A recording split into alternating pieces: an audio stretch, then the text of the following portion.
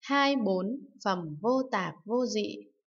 Bấy giờ Phật bảo Ananda khi nào Đại Bồ Tát tư duy bát nhã ba la mật đa, tập học bát nhã ba la mật đa, tu hành bát nhã ba la mật đa, thì khi ấy tất cả ác ma trong tam thiên đại thiên thế giới đều sanh do dự, đồng nghĩ. Đại Bồ Tát này đang ở giai đoạn chứng niết bàn hoặc là thối lui vào địa vị thanh văn hay độc giác, hay hướng đến quả vị vô thượng chánh đẳng Bồ Đà có thể làm lợi ích cho hữu tình, cùng tận đời vị lai.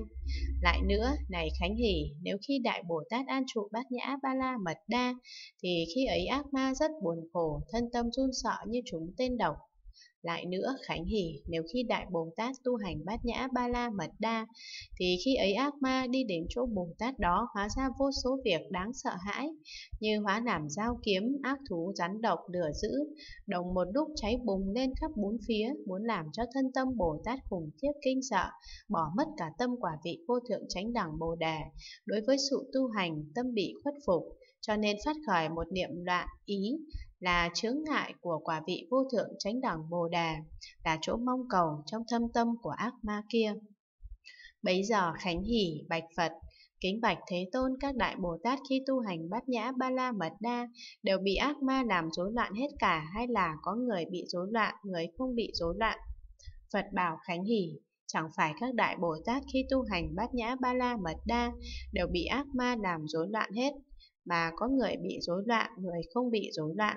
Cụ thọ Khánh Hỷ Bạch Phật Bạch Thế Tôn những đại Bồ Tát nào khi tu hành bát nhã ba la mật đa bị các ác ma làm rối loạn và những đại Bồ Tát nào khi tu hành bát nhã ba la mật đa không bị ác ma làm rối loạn. Phật bảo Khánh Hỷ các đại Bồ Tát đời trước nghe thuyết bát nhã ba la mật đa sâu xa, tâm không tin hiểu, hủy báng, chê bai, thì đại Bồ Tát này khi tu hành bát nhã ba la mật đa liền bị ác ma làm rối loạn. Đại Bồ Tát nào đời trước nghe giảng dạy bát nhã ba la mật đa sâu xa có lòng tin hiểu, chẳng hủy báng chê bai, thì Đại Bồ Tát này khi tu hành bát nhã ba la mật đa không bị ác ma làm rối loạn. Lại nữa Khánh Hỷ, Đại Bồ Tát nào nghe giảng dạy bát nhã ba la mật đa sâu xa như vậy, nghi ngờ do dự là có hay là không có, là thật hay chẳng thật, thì Đại Bồ Tát này khi tu hành bát nhã ba la mật đa để bị ác ma quấy rối. Nếu Đại Bồ Tát nào nghe giảng dạy bát nhã ba la mật đa sâu xa, tâm vị đó hoàn toàn không nghi ngờ do dự, tin chắc chắn là có thật, thì Đại Bồ Tát này khi tu hành bát nhã ba la mật đa không bị ác ma làm rối loạn. Lại nữa, Khánh Hỷ, Đại Bồ Tát nào xa lìa bạn lành, bị các bạn ác khống chế, chẳng nghe nghĩa lý sâu xa của bát nhã ba la mật đa, do không nghe nên không hiểu rõ, vì không hiểu rõ nên không thể tu tập, vì không tu tập nên không thể thưa hỏi, làm thế nào để tu đúng theo bát nhã ba la mật đa sâu xa, làm thế nào để học đúng theo bát nhã ba la mật đa sâu xa, thì Đại Bồ Tát này khi tu hành bát nhã ba la mật đa liền bị ác ma làm rối loạn. Đại Bồ Tát nào gần gũi bạn lành không bị bạn ác khống chế, được nghe nghĩa lý sâu xa của bát nhã ba la mật đa, do được nghe nên hiểu rõ, do hiểu rõ lập tức tu tập. Do tu tập nên hay thưa hỏi, làm thế nào để tu đúng theo bát nhã ba la mật đa sâu xa, làm thế nào để học đúng theo bát nhã ba la mật đa sâu xa, thì Đại Bồ Tát này khi tu hành bát nhã ba la mật đa không bị ác ma làm rối loạn. Lại nữa Khánh Hỷ, Đại Bồ Tát nào xa lìa bát nhã ba la mật đa, nắm giữ khen ngợi Pháp chẳng chân diệu, thì Đại Bồ Tát này khi tu hành bát nhã ba la mật đa liền bị ác ma làm rối loạn. Nếu Đại Bồ Tát nào gần gũi bát nhã ba la mật đa không nắm giữ không khen ngợi Pháp chẳng chân diệu,